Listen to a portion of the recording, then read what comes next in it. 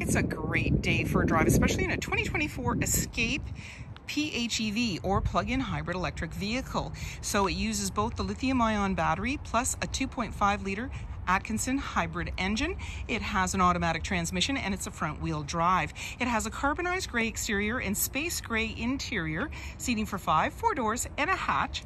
And you have the power release for your lift gate. You have this nice moon roof that opens up. It's also powered as well with powered screen and many more features like navigation.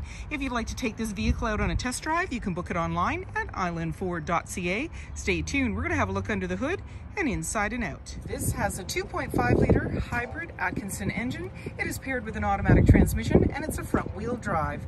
Let's have a look inside storage and speaker in the door, as well as power locks, windows, and mirrors. The driver's seat is powered with lumbar.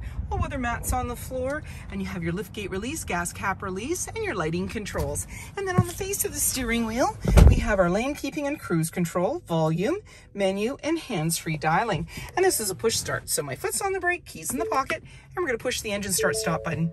On the dash, any important messages, the odometer reading, and you're seeing ready on the left-hand side. And that is because this is a plug-in hybrid So whisper quiet when it starts up and you're using the lithium ion battery while you're idling and when you're about to repel and then after that the gas will kick in.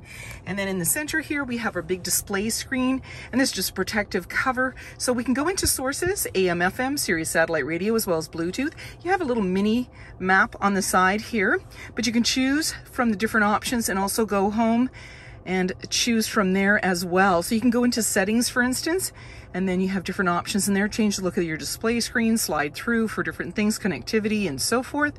And then you can go back home for different options. You can go into your features and you're gonna find your owner's manual in there, power flow, charge settings, towing, drive modes. So in the drive modes, this is as your weather and your road conditions change, you can adapt by simply choosing a different drive mode. So right now, normal, or you can touch on eco, the icons will change, sport, and if the weather gets a little slippery on the roads, you can choose that for a little more traction.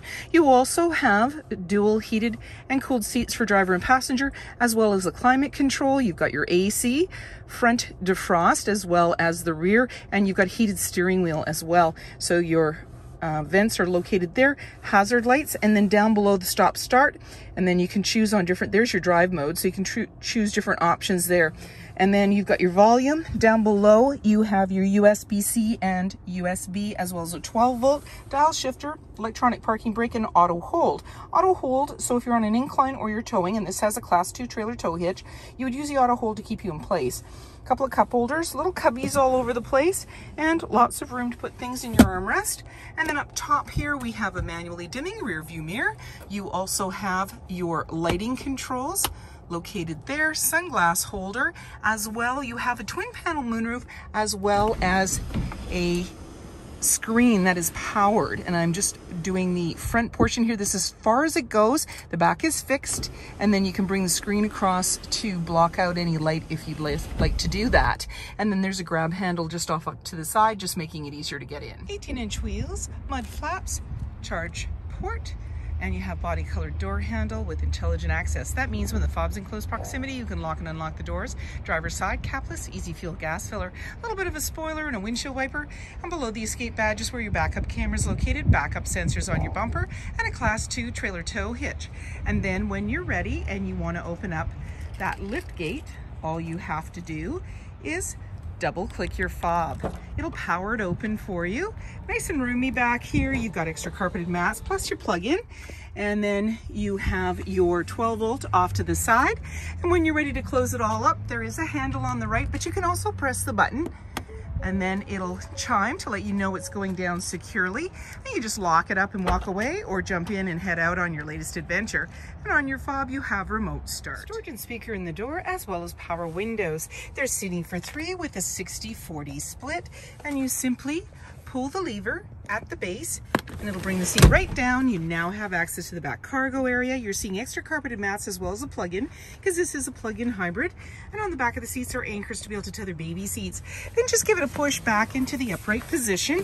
And in the center is an armrest with a couple of cup holders. All weather mats on the floor, slim pockets on the back of the front seat, air vents, and down below you have your USB outlets. You have this nice twin panel moonroof, hooks and handles, as well as lighting. Class 2 trailer tow hitch in the rear, privacy glass in the back windows with window vents, roof rails, adjustable side view mirrors with blind spot information system, auto high beams, fog lights, and so many more reasons to visit us. If you like this video and would like to see more, please subscribe. We have plenty to share with you, and we love to hear your comments.